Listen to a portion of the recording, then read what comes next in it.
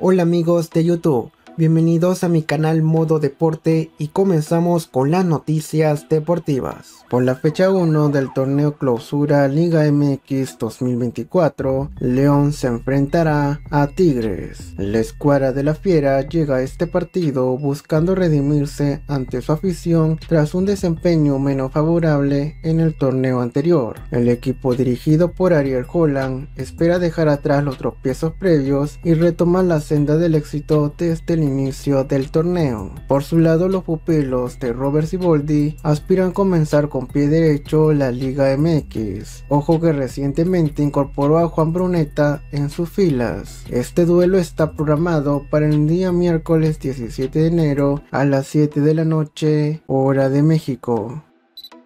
Christopher González será nuevo jugador de Universitario de Deportes. A sus 31 años, el futbolista recibió una oferta concreta desde Tienda Merengue y logró desvincularse a su ex club Al Adalá. La buena relación con el cuadro árabe fue clave, pues no le pusieron ninguna traba para cerrar la desvinculación. Ojo que el contrato será por tres temporadas y se espera su llegada en las próximas horas a Lima para unirse a los trabajos de pretemporada de la mano de Fabián Busto.